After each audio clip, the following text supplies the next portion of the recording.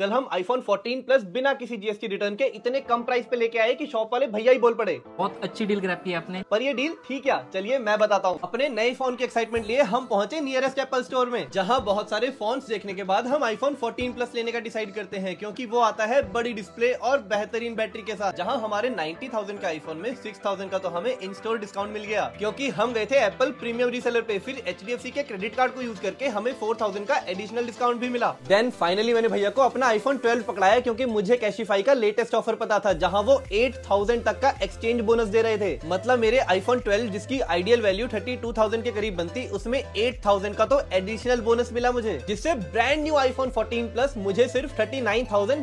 का पड़ा है तो मैंने तो अपनी डील ग्रैप कर ली आप कब कर रहे हैं धन्यवाद